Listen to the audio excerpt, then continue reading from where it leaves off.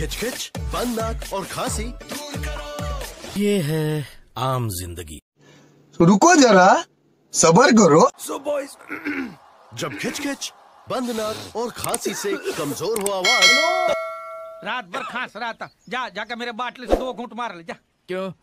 दारू पीने से खांसी चली जाएगी क्या? अरे दारू में मेरा बाप का गराज चला गया पूरा प्रॉपर्टी चला गया खुद मेरा बाप चला गया। तेरा खांसी क्या नहीं जाएगा रे? ये है मेंटोस ज़िंदगी